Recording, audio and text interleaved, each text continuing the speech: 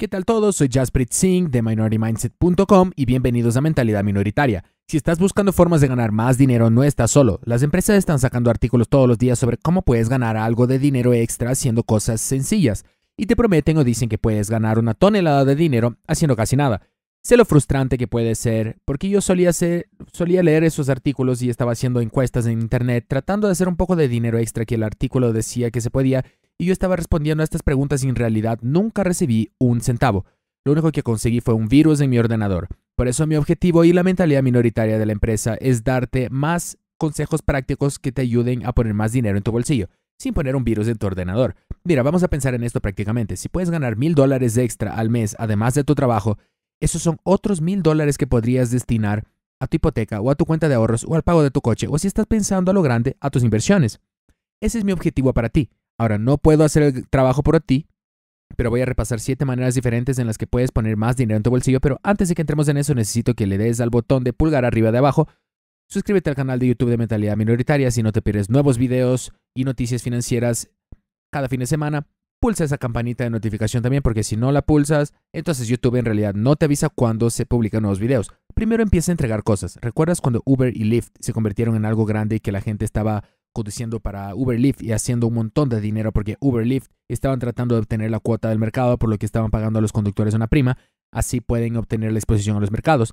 Lo mismo está pasando ahora en el espacio de entrega de comestibles y alimentos, y esta estrategia se volvió casi exponencialmente más atractiva debido a la pandemia de 2020. Cuando la pandemia llegó por primera vez, la gente estaba confundida y asustada y nadie quería ir a la tienda a comprar y nadie quería ir al restaurante a comer pero la gente seguía queriendo comprar y comer la comida de los restaurantes, así que empresas como Instacart y Amazon y Grubhub y DoorDash y Uber Eats se dispararon porque la gente acudía a estos recursos para comprar y recibir su comida a domicilio.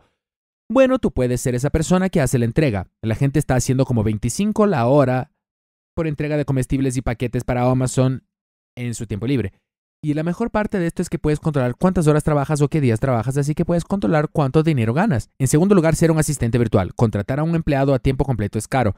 Tienes que pagar su salario cada mes, tienes que pagar sus beneficios, tienes que pagar su escritorio, tienes que pagar el portátil y tienes que pagar sus impuestos. Por eso muchas empresas optan por la vía virtual y contratan a un asistente virtual. Los asistentes virtuales a tiempo parcial no son empleados. Eres un contratista independiente, un freelancer y estás proporcionando servicios a tiempo parcial a otra empresa en tu propio horario. No hay ningún requisito de experiencia para hacer esto. Es decir, si no tienes experiencia, puedes salir y ser un asistente virtual que ayuda a gestionar los días de alguien o ayuda a gestionar los correos electrónicos de alguien. Y si tienes habilidades más comercializables, entonces puedes ayudar a gestionar el trabajo de diseño de alguien o la contabilidad, gestionar su publicidad. Tienes mucha libertad como asistente virtual. Como nosotros aquí en Mentalidad Minoritaria tenemos un par de docenas de asistentes virtuales o freelancers que trabajan para nosotros. Esto es gente que nunca se han conocido, hay personas que trabajan desde sus propios hogares o donde estén y llegan a trabajar en sus propios horarios, pero obtienen un flujo constante de ingresos para hacer el trabajo para nosotros. La forma más sencilla de hacerlo si te interesa es acudiendo a plataformas como Fiverr, Upwork. No me pagan por decir esto, solo tienes que ir a una de estas plataformas, publicar tu información y luego puedes postular a trabajos. Tercero, sé más inteligente con tu dinero. La forma más sencilla de tener un dólar extra es, pero, oh, encontrarlo en tu bolsillo. Si no puedes encontrar dinero de la nada, la segunda forma más sencilla de tener un dólar extra es no gastarlo. Todo el mundo dice que la solución a sus problemas de dinero es ganar más dinero, pero si no puedes administrar el dinero que tienes, no importa cuánto dinero ganes, siempre estarás en la ruina. Ganar más dinero está muy bien y es algo que debes hacer, pero también hay que saber conservar el dinero que se tiene y saber hacer crecer el dinero que se tiene. De esto se trata la inversión, y puedes crear un nuevo flujo de ingresos de forma pasiva a través de tus inversiones. Pero esto no es algo que vaya a suceder de la noche a la mañana. Eso significa que tienes que dar pasos firmes con tu dinero poniéndolo en un lugar que te va a crear ingresos pasivos. Eso significa invertir un poco de dinero cada semana o cada mes y si te mantienes en ello, incluso cuando no se siente como si estuvieras haciendo algo, eventualmente vas a llegar al punto en el que haces 100 dólares extra al mes de forma pasiva y luego unos cientos de dólares al mes y eventualmente llegarás a mil dólares al mes de forma pasiva si te mantienes en ello. No voy a profundizar demasiado en la inversión en este video porque tenemos toneladas de videos en nuestro canal donde hablamos de eso, y también tenemos un libro electrónico gratuito sobre la gestión del dinero e inversión que puedes leer gratuitamente cuando te suscribas a nuestros emails de educación financiera que son gratuitos. Puedes conseguir un libro gratuito y empezar a leer nuestros emails de educación financiera haciendo clic aquí arriba o en la descripción de abajo. Por cierto, nuestros emails de educación financiera son independientes de nuestros emails de noticias financieras. Cuatro, no solo hables de ellos.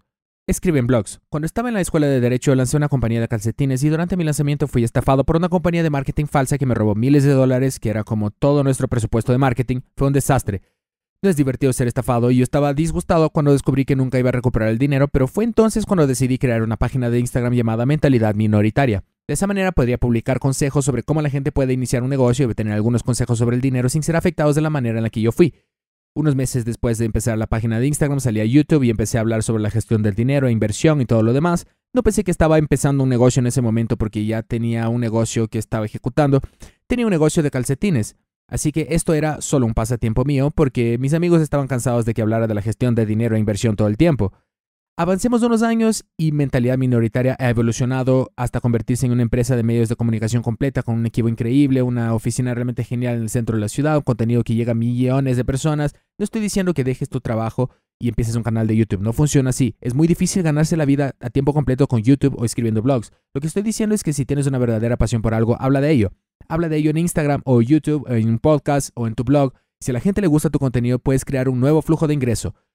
Hay varias formas de hacerlo. Puedes cobrar a la gente una cuota mensual por ver tu contenido o si no quieres ir por ese camino puedes recibir pagos de anunciantes o patrocinadores o puedes crear tu propio producto. Antes de pasar al número 5, quiero hacer hincapié en esto de nuevo. No te metas en esto pensando que vas a hacer una tonelada de dinero muy rápidamente. El primer año que hice YouTube hice menos de 3 mil dólares. Soy un abogado, podría haber hecho mucho más dinero con mi tiempo solo cobrándole a empresas 300 por hora por hacer consultorías. Me quedé con ello porque es algo que realmente disfruto hacerlo. Si lo haces porque quieres ganar una tonelada de dinero rápido, vas a estar muy decepcionado. En quinto lugar, negocia tu salario más alto. La forma más rápida de ganar 10 mil dólares más al año de forma constante no es empezar un nuevo negocio paralelo, no es invirtiendo tu dinero y no es iniciando un negocio. Es teniendo una conversación de 30 minutos con tu jefe donde le pides un aumento. Pero hay una forma correcta y otra incorrecta de hacerlo. Tienes que demostrarle a tu jefe que eres un activo valioso. Si acabas de conseguir un nuevo trabajo y unos meses después pides más dinero, eso no va a verse bien. ¿Quieres que sea una victoria? Demuéstrale a tu empresa que eres un activo que hace un buen trabajo y luego explícale a tu jefe por qué te mereces un aumento y ofrécete asumir más responsabilidades. Tienes que demostrar a tu jefe por qué deberías ganar más dinero. No basta con decir que trabajas mucho. La producción es más importante que el esfuerzo. En sexto lugar, mira los puestos de temporada. Cada parte del año tiene una demanda estacional única. En verano puedes ayudar a un paisajista a final del año. Durante la temporada de vacaciones, las empresas siempre buscan ayuda extra. Puedes ser vendedor temporal de tiendas, Puede ser empaquetador de regalos, mozo de almacén o repartidor de paquetes. Durante la primera parte del año, si estás en una zona más fría, no hay que arar y en primavera todo el mundo necesita ayuda con la limpieza de primavera. Estos trabajos temporales se pagan muy bien porque son temporales y las empresas tienen una gran demanda de estos puestos. Sí, puede que no te dé un giro rápido a tus finanzas, pero es una forma de añadir más dinero a tu bolsillo relativamente pronto. Y número 7, puedes empezar tu propio negocio. Esto no es para todos. Empezar un negocio tiene el mayor potencial de ganancias, pero también tiene el mayor potencial de pérdidas. La mayoría de la gente que inicia un negocio fracasa porque o bien te das cuenta del trabajo que lleva, no tienes suficiente pasión, tu producto apesta o no sabes cómo gestionar las finanzas del negocio. Voy a insistir de nuevo en esto. Empezar un negocio es difícil, no es para todo el mundo. No vas a tener días libres, ni fines de semana ni vacaciones cuando diriges tu propio negocio, porque siempre va a estar en tu mente.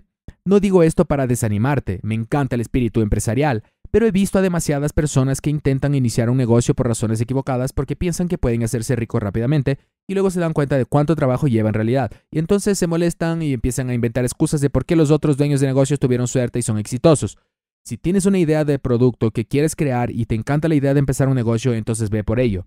Cuando estás empezando, no necesitas salir a recaudar un millón de dólares. No, no, necesitas salir a buscar un consejo de administración. No es necesario ir a gastar miles de dólares para crear el sitio web perfecto todo lo que necesitas hacer al principio es empezar. No gastes dinero, no tienes que empezar algo que ni siquiera sabes si va a funcionar. Cuando empecé a hacer los videos, los grababa con mi teléfono móvil frente a una pared blanca, eso es todo. No tengo ningún equipo de lujo, no te metas en la madriguera del conejo de gastar todo este dinero o endeudarte para tener todas estas cosas bonitas del negocio. Empieza tu negocio y empieza a ganar dinero primero. Y una vez que empieces a ganar algo de dinero, entonces reinvierte eso en tu negocio. Ahora, antes de dejarte ir, si estás buscando algunas formas adicionales de ganar algo de dinero extra, nuestro equipo hizo un artículo de nuestro sitio web que cubre más de 113 maneras diferentes con las que podrías ganar más dinero. Si quieres leerlo y ver todas las formas diferentes, tengo el artículo en nuestro sitio web y se puede leer aquí haciendo clic en este botón o también voy a enlazarlo para ti en la descripción de abajo. Gracias por verlo. Si disfrutaste el video, compártelo con un amigo. De esta manera le llega al mundo. Si quieres aprender sobre cómo crear un sistema financiero con tu dinero y así crear un mejor plan para tu dinero, ya hice un video sobre esto, puedes verlo en YouTube haciendo clic en este botón de aquí. Gracias por verlo y como siempre, sigue luchando.